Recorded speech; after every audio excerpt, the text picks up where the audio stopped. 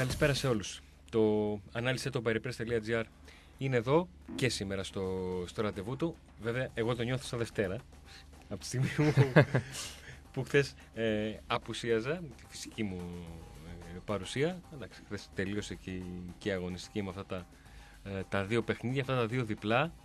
Στα οποία το ένα δεν περίμενα το Σιάννη και στο άλλο δεν το περίμενε η αλήθεια. Από το Το ΟΦΗ Λαμία. Από αρκετές πλευρές δεν το, δεν το περίμενα. Αλλά η αγωνιστική έκλεισε με πάρα πολλά γκολ. Τέσσερα στο Ηράκλειο και άλλα έξι στην, ε, στη Ριζούπολη. Δέκα γκολ. Ωραία πράγματα. Και ωραία γκολ, αρκετά ωραία γκολ. Καλησπέρα κιόλας και Αντώνη και Θωμά και στους φίλους ακροατές του Libero 100,4. Καλησπέρα και από μένα στους ακροατές. Μοντελόπουλος, Αντώνης Τσακαλέας, Γιώργος Παναγιωτίδης στα μικρόφωνα μέχρι τις ε, 3. Μερικοί λένε ότι τέτοια παιχνίδια ε, στα οποία μπαίνουν ε, δύο γκολ μέχρι το 10 και γκολ για τον πρώτο της βαθμολογίας που παίζει στην έδρα του τελευταίου της βαθμολογίας ε, δεν σηκώνουν κριτική. Βέβαια, λίγη ώρα μετά είδα ένα, ε, το αντίστοιχο παιχνίδι του πρώτου της βαθμολογίας στην έδρα του τελευταίου της βαθμολογίας στη Γερμανία. Με την Νυρεμβέργη Ντορτ. Ναι. ναι. Και δεν έληξε ένα πέντε, έληξε 0-0 με το πλάνο στο φινάλε του προπονητή της Νυρεμβέργης να πανηγυρίζει και να λες άμα έβλεπες εκείνη τη στιγμή το σκηνικό αυτό επειδή είχε βγει και από τη γωνία πάνω αριστερά στην οθόνη το σκορ έλεγες OK okay, αυτοί κερδίσανε όταν το πλάνο σου είναι να αντέξεις και την αδοχή και τώρα τι πρωτάθλημα στη Γερμανία από εδώ και πέρα έτσι με διαφορά στους τρεις; Φωτιά ξανά. Στους τρεις βαθμούς και η Gladbach είναι εκεί κοντά. Να είναι τρεις πίσω από την Bayern νομίζω και έξι από την Dortmund αυτή εκεί να, να υπάρχει. Ακολουθεί. Άλλη κουβέντα αυτή για το, για το ότι ο Φαύρ προπονητής της Dortmund είναι ένας προπονητής που είχε τη στάμπα ότι οι ομάδες του από τα μέσα Γενάρη και μετά από την επιστροφή από την εντός αεκών χειμερή ανάρκη που υπάρχει στη Γερμανία με την μεγάλη διακοπή ε, στο πρωτάθλημα οι ομάδες του δεν παρουσιάζουν το ίδιο πρόσωπο και τουλάχιστον βαθμολογικά αυτό συμβαίνει. Ε, Θωμά, το, το παιχνίδι του Πάουκ το είδες; Ε, όχι ολόκληρο, αλλά το περισσότερο διάστημα το είδανε.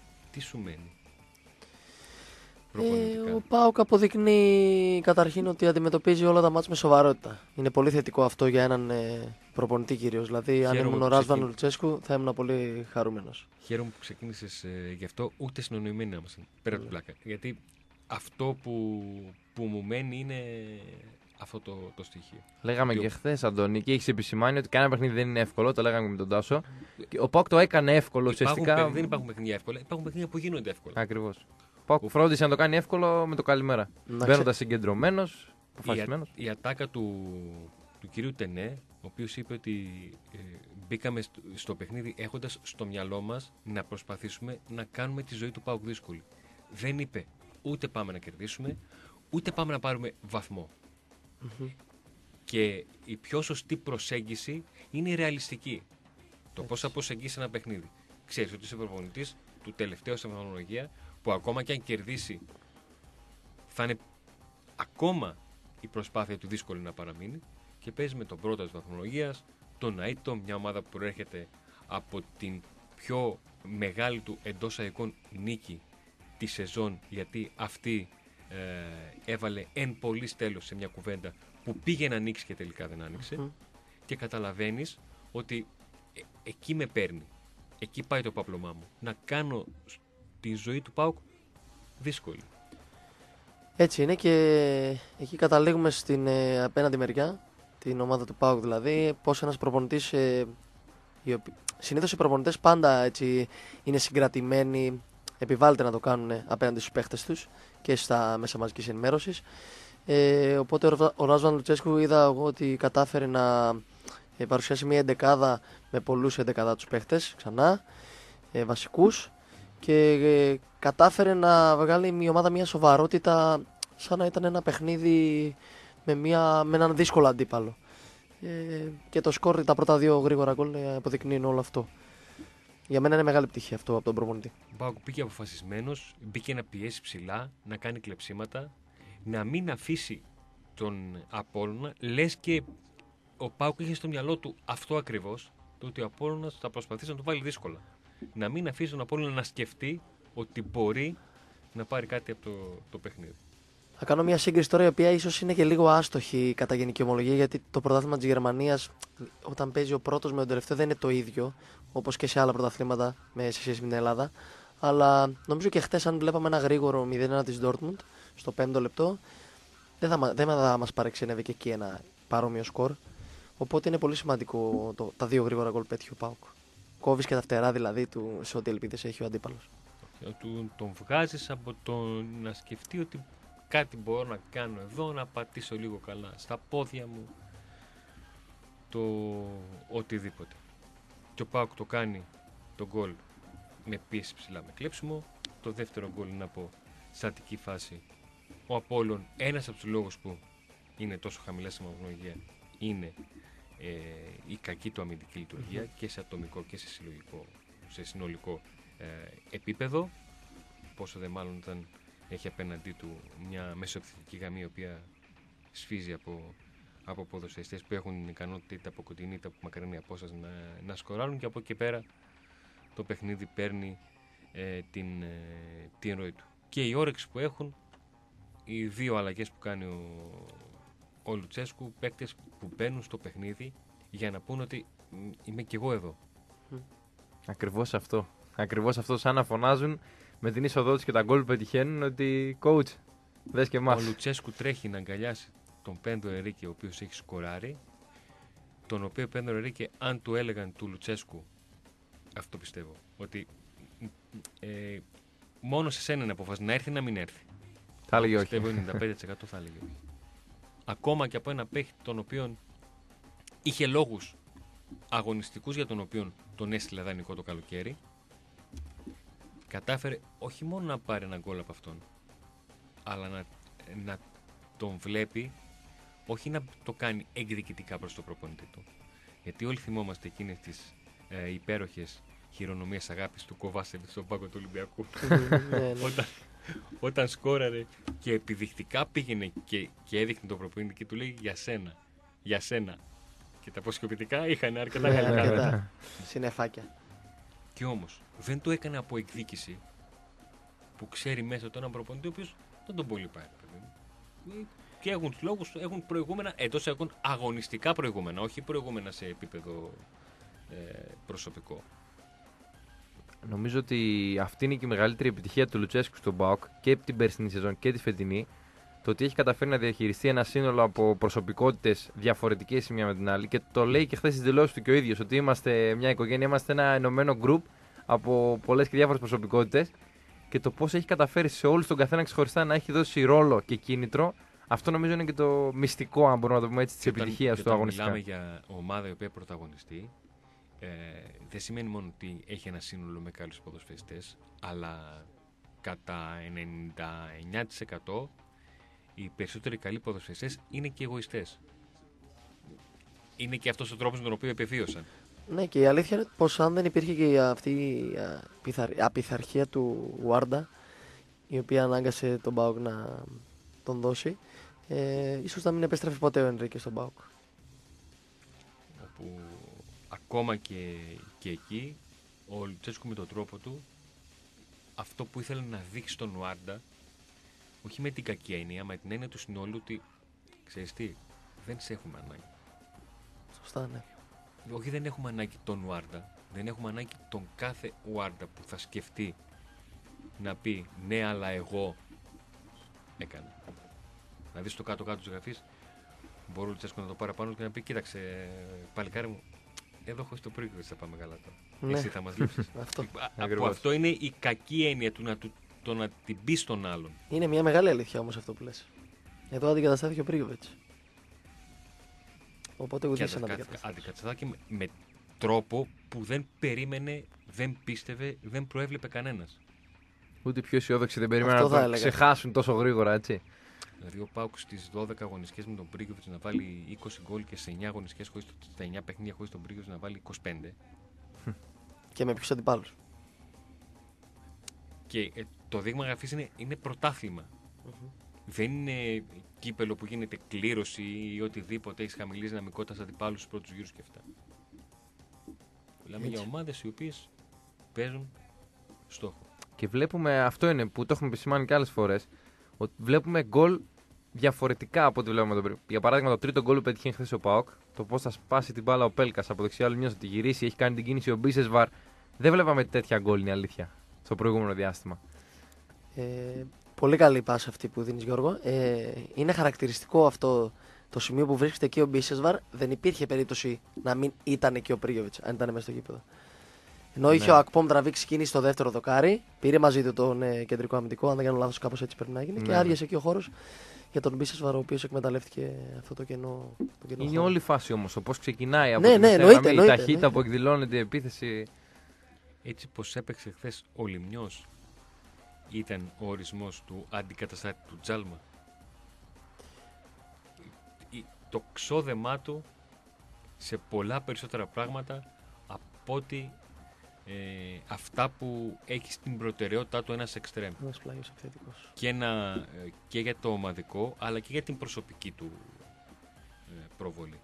Εντάξει, είναι το χαρακτηριστικό του αυτό. Κάνει πολλά πράγματα. Δεν θα έκανε ανάλυση στην θέση του. Σαν πλάγιος επιθετικός πάντα. Έχει μεγάλη σημασία να ξέρεις ότι και να προσπαθείς να φανείς σε, σε σημεία που ξέρεις ότι μπορεί να ξοδεύεσαι, μπορεί τα φώτα της μοτζής να μην πηγαίνουν πάνω σου, αλλά να ξέρεις ότι αυτό, αυτός είναι ο τρόπος για τον οποίο αγωνίζομαι, αυτό είναι το χαρακτηριστικό μου και με αυτό θα πορευτώ. Έτσι κέρδισε και την εμπιστοσύνη του προπονητή του. Ε. Ε, είναι πολύ σημαντικό. Ε, μου είχε μείνει χαραγμένο γιατί, όπως το είπα σε μια ακόμη εκπομπή, ήμουνα στο γήπεδο, στο Πάο Ξάνθη, στο 2-0. Σε κάποια φάση γύρω στο 80 έχει κάνει ένα ανέβασμα ο Μάτσος, έχει, αργεί να, έχει αργήσει να επιστρέψει και κάνει από δεξί εξτρέμ, δεξί πλάγιο επιθετικός, διαγώνια κάλυψη αριστερά στην άμυνα. Ο Λιμιό. Ε, αν μπορέσουμε να βρούμε αυτή τη φάση, ίσως την ανεβάσουμε και στο site μας. Θα ήταν πολύ ωραία. Είναι ο ορισμός της, ε, της θυσίας. Και φτάνει πλέον ε, ο Πάουκ να πιστοποιεί ότι όλο αυτό το στην αρχή που ήταν βρελές μετά θα γίνει. Άντε να γίνει. Και φέρνει και αυτή την ανυπομονησία όσον αφορά το, το πρωτάθλημα. Τρόπος διαχείρισης δηλαδή δύο παιχνιδιών σε καθαρά, αν μπορώ να το πω έτσι, εγκεφαλικό επίπεδο παίζοντας με τον δεύτερο και μετά με τον ε, τελευταίο. Η διαχείριση που κάνει ο Ράτσον Λουτσέσκου στην ψυχολογική προετοιμασία των, των ποδοσφαιριστών. Στο ένα παιχνίδι μπαίνουν και βάζουν γκολ στο 3, έχοντα κάνει φάση στο πρώτο λεπτό και στο άλλο σκοράρουν στο τέταρτο λεπτό έχοντας πιέσει από την, ε, από την αρχή. Και επειδή λέμε, ξεκινήσαμε να λέμε για τη διαχείριση του Λουτσέσκου, πάλι θα σταθώ και σε κάτι που ανέφερε και ο ίδιος στις δηλώσεις του μετά το παιχνίδι, για το Ζαμπάκ, για το λόγο που δεν ξεκίνησε. Βλέπουμε να παρατάσει μια δεκάδα με τρεις αλλαγές. Μια δεκάδα που περισσότερα θα περίμενα ίσως να ξεκινήσει και η ίδια, έτσι. Όταν έχεις κερδίσει ένα τέρμι με τον Ολυμπιακό με τέτοια εμφάνιση, κάνει τις τρεις αλλαγές και βλέπουμε πάλι το πόσο καλή είναι η διαχείρισή του στους παίκτες που αντικατέστησε. Πήρε από όλους πράγματα και από τους τρεις Κάνει που τρεις αλλαγές στην αρχική ενδεκάδα. πέρασε. Οι δύο, από αυτοί, οι δύο εξ αυτών σκοράρουν Σωστά. και κάνει τρεις αλλαγές κατά τη διάρκεια του μάτς. Οι δύο εξ αυτών σκοράρουν. Ναι. Ο Πάουκ έχει τα τελευταία, ναι, στα τελευταία δύο παιχνίδια έχει πετύχει 8 τέρματα. Με 7 διαφορετικούς παίκτες. Και αναφέρθηκε- όχι δύο. 7. Αναφέρθηκε και στο Ζαμπά, στο οποίο, ο οποίος ήταν τον κορυφαίο στον τέρμι με τον Ολυμπιακό και χθες δεν ξεκίνησε. Και δεν ξέρω αν θυμάσαι, Αντώνη, το... Όλη την αυτή ατάκα του. που Πως, είπε ότι- ε, ναι, Του δεν- είπε ο ίδιος ότι δικαιολογεί ότι καταλαβαίνει το ότι δεν θα ξεκινήσει γιατί υπάρχουν και άλλοι ποδοσφαιριστές και είμαστε μια, ένα σύνολο στο οποίο όλοι προσπαθούν να βοηθούν και να παίρνουν τις ευκαιρίες. Ένα παράδειγμα νομίζω είναι αυτό όσων, όλων όσων λέγαμε νωρίτερα για το πώς διαχειρίζεται όλους τους παίκτες του και κρατάει τόσο ενωμένο το σύνολο και αυτό βγαίνει φυσικά και στον αγωνιστικό χώρο.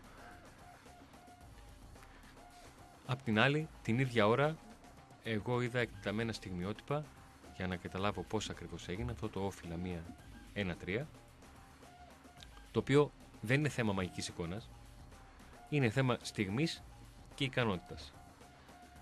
Εντάξει, και λίγο νόμο του Μέρφυ. Το πρώτο γκολ είναι ικανότητα. Εντυπωσιακό Θα πούμε. γκολ από Ναι, τον ε, φοβερό. Καραμάν. Εντυπωσιακό.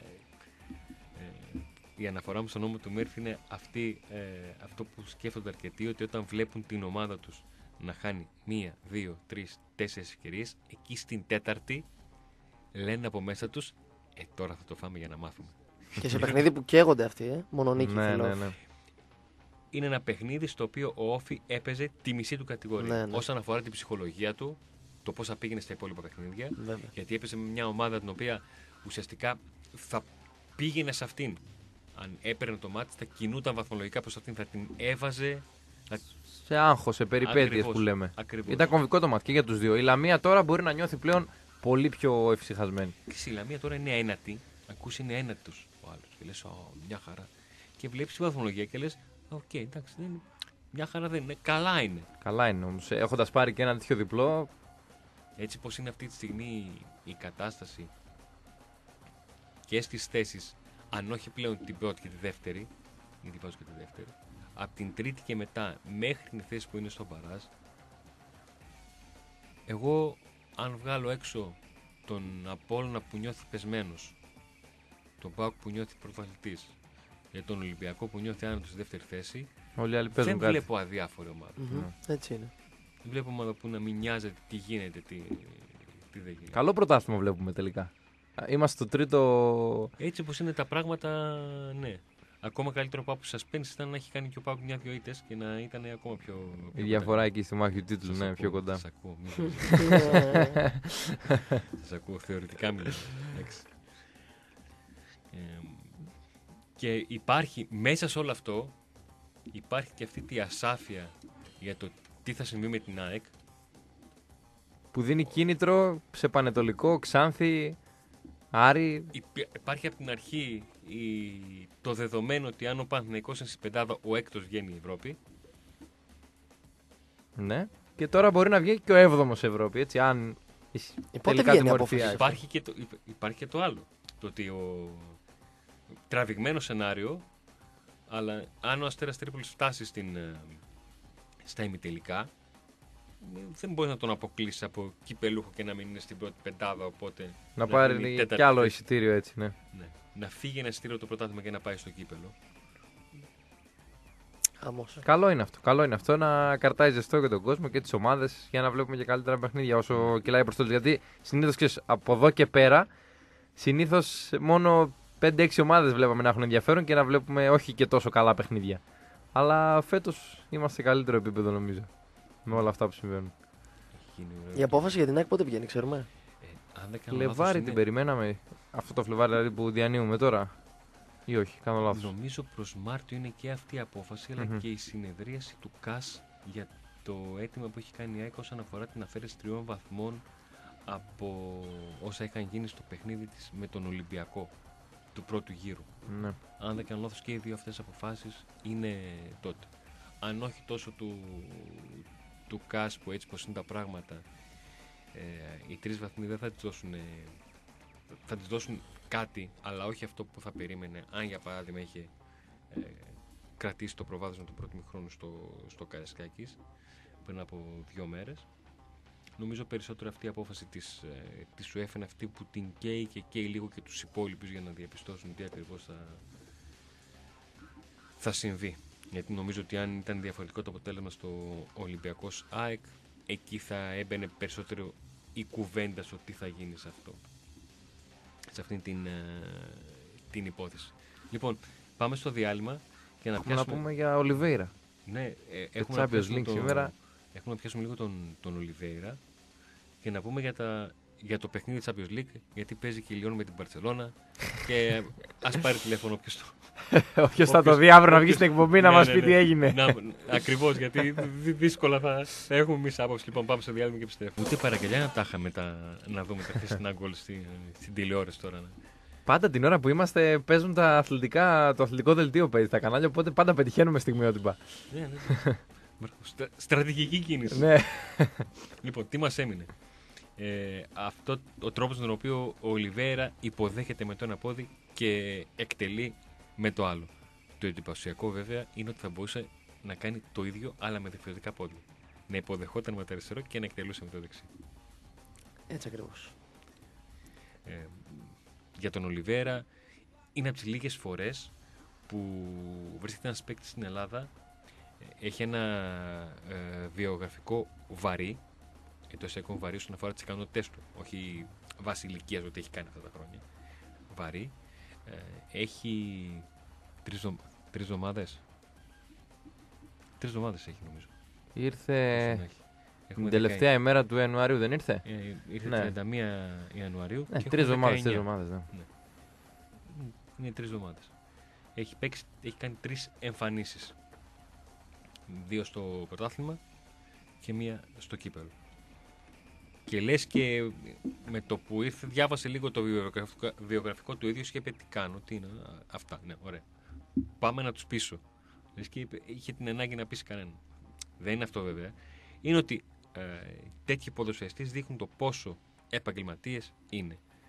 Το ότι ο Λιβέρε θα μπορούσε ε, στο μυαλό κάποιου άλλου ποδοσφαιριστή να πει έξι μήνες πήγα στην Ελλάδα τώρα και τι έγινε εντάξει, οκ. Θα κάνω αυτό που μπορώ να κάνω. Στο κάτω κάτω της γραφής μπορεί να μην τους ξαναδώ αυτούς ο τρόπος με τον οποίο ε, δρα στο παιχνίδι από το 60 λεπτό και μετά είναι ο ορισμός του επαγγελματία. Πιέζει ε, ε, τρέχει, κόβει, μαρκάρει στο 70. Όχι πως θα το παρατούσε κανείς, αλλά που λες ότι εκεί το παιχνίδι είχε κρυθεί. Εκεί άμα δεις ότι σου χάνεις ένα μαρκάρισμα, μπορεί και να μην σκιστείς. Όχι. Δεν υπάρχουν αυτά. Σε μυαλό ποδοσφαιριστών οι οποίοι είναι 100% επαγγελματίες και το μόνο που τους ενδιαφέρει είναι όταν παίζω να μην μπορεί κανένας να πει ότι δεν προσπάθησα όσο μπορούσα για την οποιαδήποτε φάση, την οποιαδήποτε μπάλα, την οποιαδήποτε στιγμή.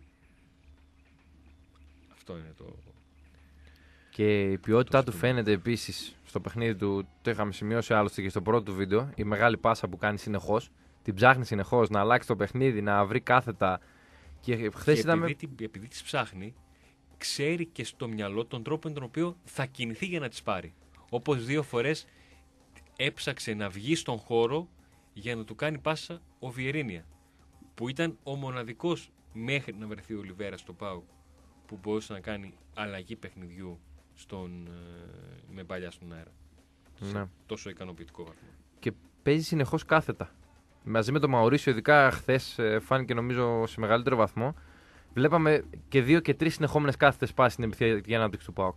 Ώρες ώρες νομίζω ότι ε, υπάρχουν φορές που ομάδες ψάχνουν να βρουν παίχτη που έχει και την κάθετη πάσα και βλέπεις τον Ολιβέρα και λες αυτός είναι μονοκόμματος. Έχει μόνο αυτό. Μόνο κάθετα παίζει, ναι. Μόνο εκεί, παμ, παμ. Ε, παμ. Και μπορεί κάποιος να πει ότι ήταν ένα παιχνίδι με χαμηλό βαθμό δυσκολίας όσον αφορά τον, τον αντίπαλο, αλλά εδώ ζητάμε για την οτροπία δεν βγάζω ε, υποτιμώντας ή υπερτιμώντας ανάλογα τον αντίπαλο, που στη συγκεκριμένη περίπτωση ήταν ο Απόλλων Σμύρνης, αλλά μιλάμε για τον τρόπο σκέψης ενός ποδοσφαιριστή. Τρόπο αγωνιστικής σκέψης που έχει να κάνει με το που έχει μάθει το ποδόσφαιρο, τι έχει μάθει πάνω στο ποδόσφαιρο και με ποιον τρόπο ε, επιβιώνει σε αυτόν και μάλιστα σε υψηλό επίπεδο. Λοιπόν, για να σας δώσω και πάσα για να πάμε και στα, στα επόμενα που έχουμε να συζητήσουμε και να αναλύσουμε. Ο φίλος Ιορδάνης στέλνει ωραίο μήνυμα. Λέει θα ήταν ωραίο να έχουμε μια ανάλυση αύριο με ένα ωραίο βιντεάκι του παιχνιδιού της ΚΑΠΑ 19 του ΠΑΟΚ με την Τότεναμ. Ελληνόπουλα αγωνιζόμενα με καλή ομάδα. Πολύ όμορφο θα ήταν. Και μας δίνει και συγχαρητήρια για την εκπομπή που γίνεται όλο και πιο πλούσια. Αναφέρει. Ευχαριστούμε το φίλο τον Ιορδάνη φυσικά. Και έχει το ενδιαφέρον του και αυτό το παιχνίδι σήμερα. Εντάξει, είναι και πριν το Champions League, οπότε θα το δούμε με άνεση. Στις 7 είναι στην Τούμπα. Πολύ καλή ιδέα του πάντως και εγώ με ανυπομονησία περιμένω σήμερα να πάω στο παιχνίδι επειδή θα πάμε με τις ακαδημίες εκεί που Ναι. Τι είμαι. κερδίζει ένα παιδάκι που το βλέπει αυτό το παιχνίδι; Να πάει με την ακαδημία του ποδοσφαίρου να δει. Τι είναι αυτό που θα του έλεγε κάποιος να, να παρατηρήσει, για παράδειγμα; Καταρχήν η- είσαι ένας καλή, παίρνει την πρώτη ομάδα. Δηλαδή αυ- αυτά τα παιδιά που θα δεις, όπως είπαμε και Ελληνόπουλα, δεν θα δεις ξένους κυρίως, είναι, μπορούν να σε φέρουν πιο κοντά στο όνειρο. Έτσι, να δεις ότι και εγώ μπορεί σε λίγα χρόνια να είμαι εκεί και είναι κάτι πολύ μεγάλο να παίξεις και με κόσμο και στο γήπεδο της Τούμπας και με έναν σύλλογο πολύ μεγάλο με ελληνικούς όπως είναι η Τότεναμ. Ε, σίγουρα και από αυτούς έχουμε να δούμε πάρα πολλά πράγματα. Έτσι, από τον Είναι και επιθετικό. μάθημα για την Ακαδημία του ΠΑΟΚ, έτσι. Ε, βέβαια, βέβαια. Ε, νομίζω πως ε, θα φανεί το πόσο ανταγωνιστικός μπορεί να είναι. Γιατί υπάρχουν, ε, έχουμε ακούσει πάρα πολύ καλές κριτικές για αυτήν την ομάδα, για την ε, ομάδα του Παπλου Γκαρσία. Οπότε είμαι ανυπόμονο και εγώ να δω ε, έτσι, ένα τέτοιο παιχνίδι σε επίπεδο ακαδημιών. Και η συγκεκριμένη ομάδα είναι ομάδα συνόλου. Έχει δηλαδή ποδοσφαιριστές που έχουν το στοιχείο που δείχνει τελευταία και ο, η ανδρική, αν μπορώ να το πω έτσι, ομάδα του ΠΑΟΚ. Η μεγάλη το εισαγωγικών τέλος πάντων. Πώς- ότι Είναι λίγο περίεργο να λες αυτό το δεύτερη ομάδα και πρώτη ομάδα και ανδρικό ποδόσφαιρο, επαγγελματικό ποδόσφαιρο. Αλλά τέλος πάντων καταλαβαίνετε τι, ε, τι εννοώ. Της τότε να ομάδα είναι K18, έτσι. Ναι, αν δεν κάνω λάθος. Ναι. Ναι. K18 παίζει αυτή η διοργάνωση. Ε, Πάντως περιμένουμε να δούμε και παιδιά που αναμένεται να πάρουν ευκαιρίες και στην ε, ομάδα του ΠΑΟΚ, την μεγάλη, την αντρική. Ε, ίσως και την επόμενη χρονιά, με την παρουσία τους στην προετοιμασία, να κερδίσουν κάποια θέση στο ρόστερ. Θα είναι θέση βασικού λίγο δύσκολα, αλλά ίσως μια θέση ρολίστα. Ε, θα είναι μια καλή ευκαιρία. Ένας, ένας αγώνας που νομίζω και ο Ράζον Τσέσκου θα τον παρακολουθήσει έτσι. Για την ε, περσινή ομάδα τη τότε με δύο παίχτες, την περσινή K18 τους είναι στην, στην τωρινή ομάδα του, του Ποκετίνο και υπάρχουν άλλοι δύο ποδοσφαιριστές που, που προωθούνται προς τα εκεί για να καταλάβει κανείς το τι, για τι μέγεθος μιλάμε. Διότι υπάρχουν ποδοσφαιριστές που πάνε από την ε, K19 του ΠΑΟΚ και ετοιμάζονται και είναι στο προθάλαμο της ανδρικής ομάδας του ΠΑΟΚ και αντίστοιχα στο δικό τους επίπεδο ποδοσφαιριστές τους οποίους τότε να τους περιμένει για να τους εντάξει ε, έτοιμους να παίξουν στην, να διεκδικήσουν θέση να παίξουν στην Premier League. Σε μια ομάδα η οποία τα τελευταία τρία χρόνια έχει εδρεωθεί στο, στο Champions League, στη φάση των ομίλων τουλάχιστον, εκεί ε, αγωνίζεται.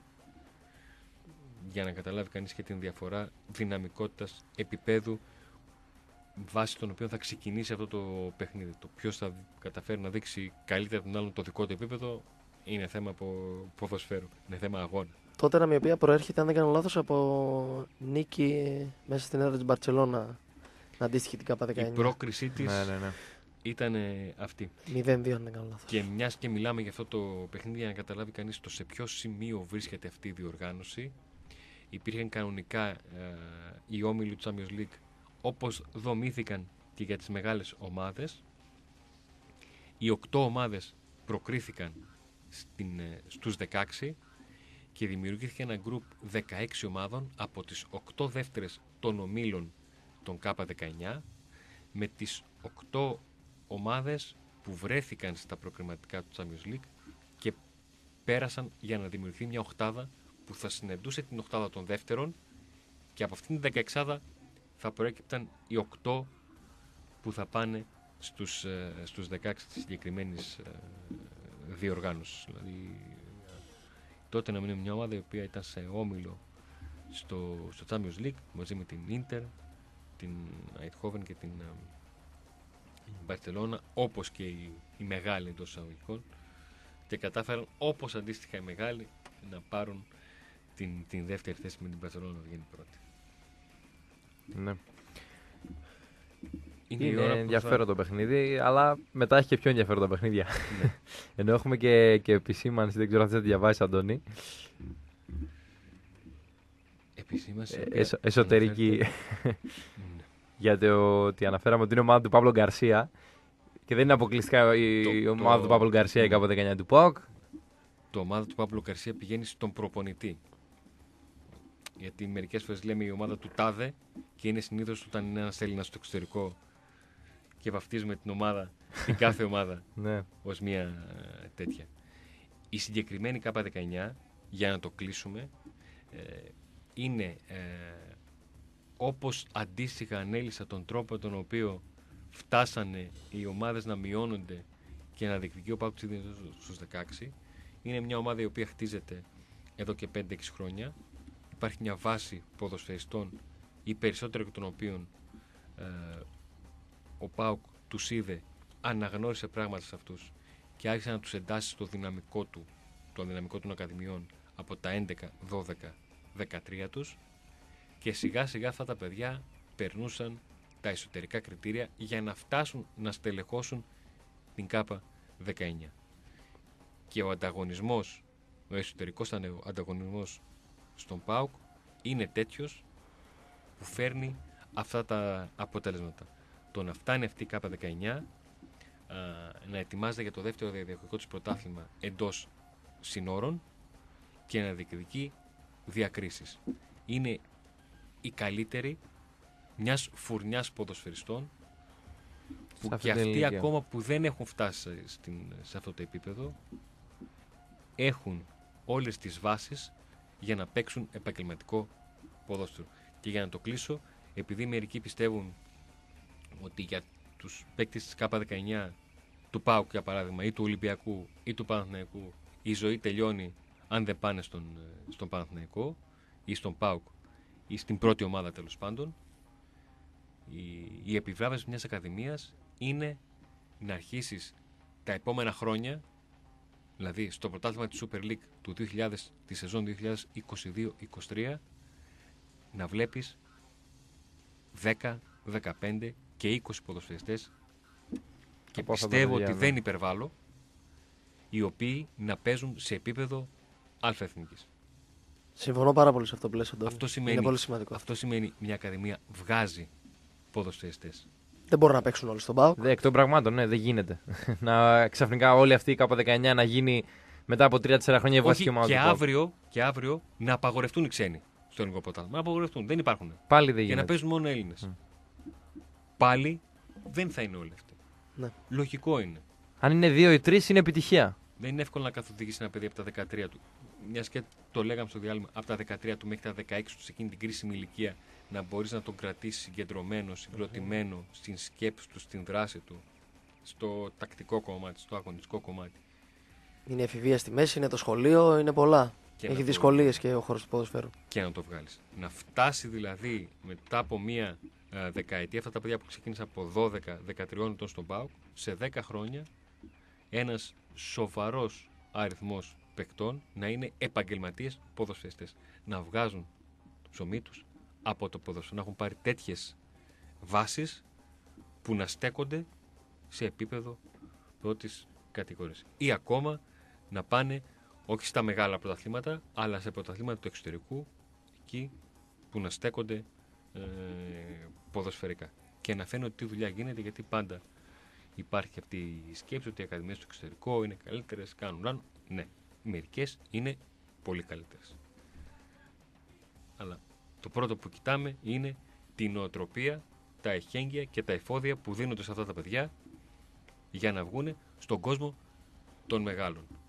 Πώς γίνεται κάθε φορά που συζητάμε τις ακαδημίες να, να μου έρχεται ένας εκνευρισμός για αυτό το πράγμα ότι δεν θέλουν γιατί υπάρχει τρόπος να βρεθεί η φόρμουλα σύνδεσης των ομάδων που φτάνουν 17, 18, 19 με το επαγγελματικό πρωτάθλημα πριν εντός εικόνας να αποφυτίσουν.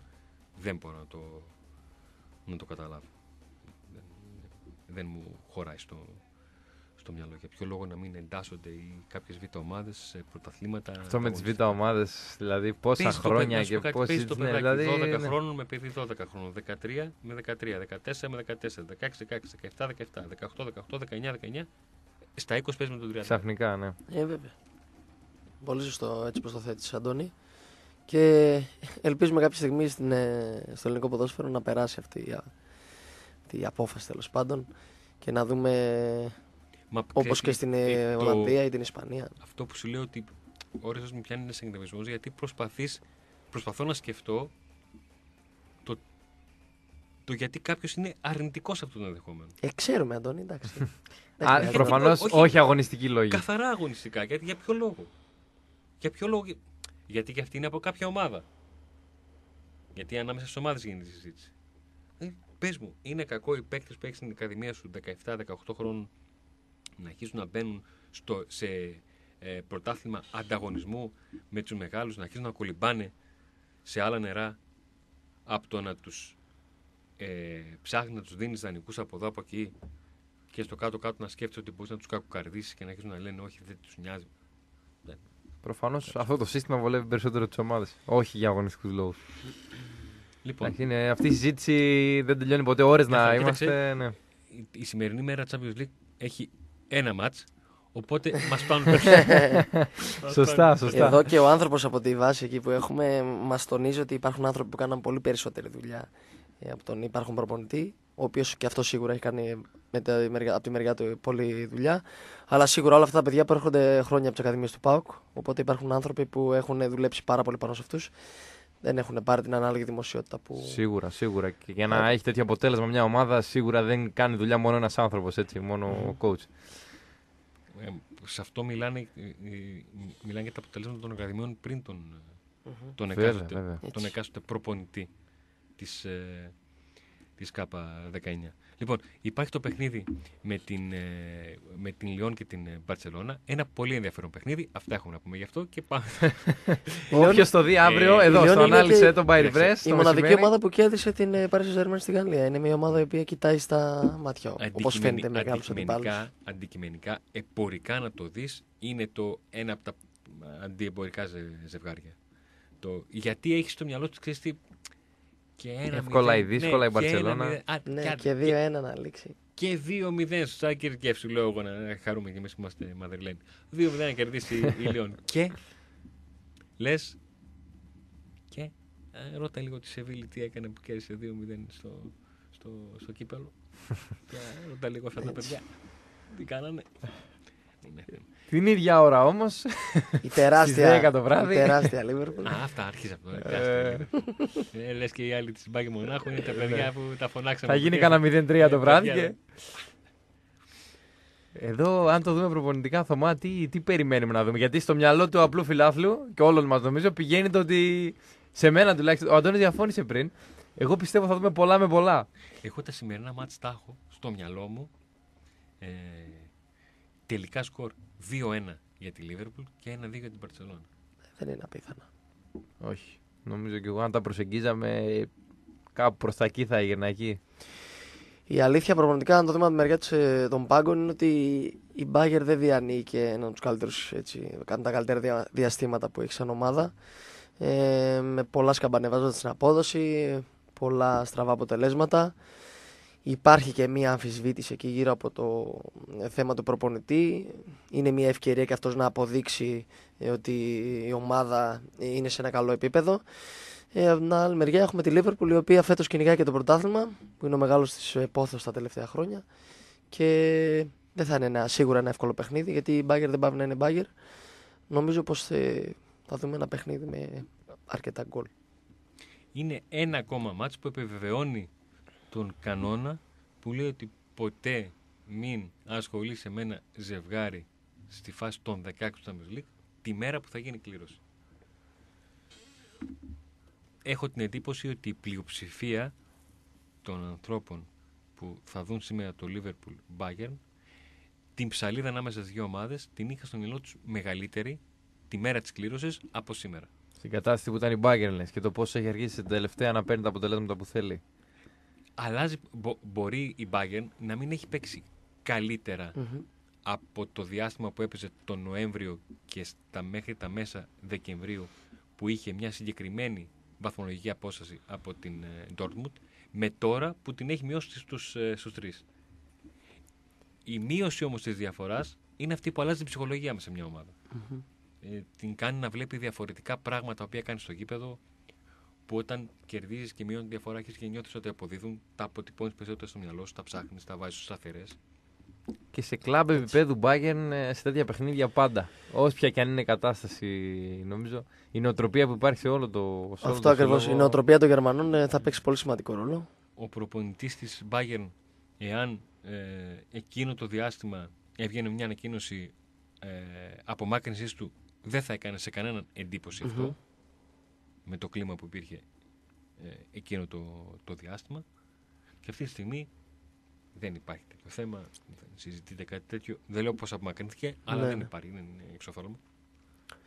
Ε, πολύ μεγάλο ρόλο σε αυτά τα παιχνίδια παίζει και η απόδοση έτσι, ορισμένων παικτών, να- δηλαδή ατομικά να το πάρουμε. Ε, ας πούμε, ο Σαλάχ είναι μεγάλο. Με, Ο με Λεβαντόφσκι απ' μεγάλη την άλλη. βαρύτητα. Ο Λεβαντόφσκι, ο Κομάν τα τελευταία, στα τελευταία παιχνίδια κάνει πολύ Ναι. καλά αγώνες. Οπότε παίζει και αυτό ρόλο η ατομική απόδοση κάποιων παικτών. είναι και επειδή την, όταν ξεκίνησαν τα παιχνίδια του Champions League είπα ότι στο μυαλό μου σε αυτό το επίπεδο είναι λίγες φορές που μπορεί να παίξει ρόλο η έδρα σε αυτό το ζευγάρι και οι δύο ομάδες έχουν γήπεδα που είναι ζωντανά είναι Ναι, Ίσως πολλοί δίνουν λένε το για κάτι μύθο της παραπάνω, ναι. Liverpool, το Kop και όλα αυτά, ναι, οκ, δεν βγάζω ούτε εκατοστό από αυτό. Αλλά και η, η έδρα της, της Bayern είναι έδρα.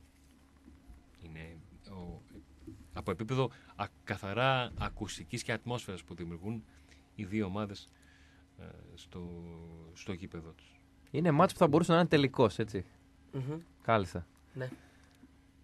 Θα μπο- Ναι, όντως θα μπορούσε να είναι τελικός. Δεν θα μου άρεσε σαν ιδέα.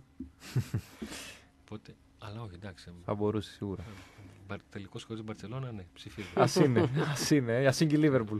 ναι, ναι, αυτό που ώρες ώρες μας βγαίνουν λίγο τα εντός εικόν οπαδικά μας στο εξωτερικό. Εντάξει, καλό είναι και αυτό να Αυ- υπάρχει. Αυτά Δεν καλό γίνεται είναι να μην γίνονται- υποστηρίζεις αυτά τίποτα. Καλό είναι να Ναι. γίνονται Ε, σε αυτό το βαθμό. Έτσι. Λοιπόν, ε, βάζουμε τελεία στην κουβέντα μας, γιατί βλέποντας το ρολόι δεν της έχεις σφυρίξει για το πέναλτι ε, με τον ε, Γιώργο Ζαγόρα που ακολουθεί. Ε, το ανάλυσε το Περιπρess.gr φτάνει στο τέλος του. Καταπιαστήκαμε με το τι έγιναν στα δύο χθεσινά παιχνίδια της ε, Super League, σε αυτές τις εκτός νίκες της Λαμίας και του ΠΑΟΚ αντίστοιχα. Λίγο παραπάνω στον ΠΑΟΚ και στο κεφάλι Ολιβέρα που όπως έλεγε και μια διαφήμιση κάποτε, πραγματοποιώσα υπόσχεται ως ε, παρουσία. Α, και αφήνουμε εδώ τη σκητάλη στον, ε, στο Γιώργος Ζαγόρα και θα την πάρουμε από τα, τα παιδιά του ΠΑΟ 24 αύριο το μεσημέρι στις 2 για να δούμε τι θα μας έχει μείνει από τα δύο παιχνίδια. Εντάξει, θα κάνουμε κλήρωση μεταξύ μας στο, στο Ριπές. Κάποιος άτυχος θα δει το, το Λιόν ε, Μπαρσελόνα, δεν θα μας κακίσει, θα τη βρούμε την άκρη. Πώς θα τον ε, βολέψουμε μετά. Καλό μεσημέρι σε όλους. Καλό Καλό μεσημέρι. μεσημέρι.